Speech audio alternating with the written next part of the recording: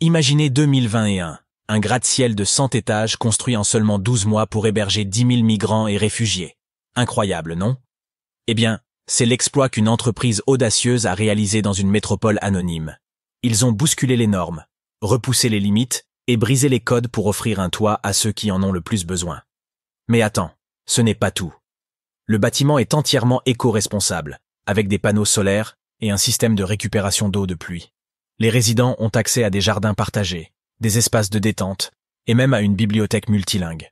Alors, pourquoi cette initiative ne fait-elle pas la une des journaux? Parce que certains préfèrent rester aveugles face à la réalité.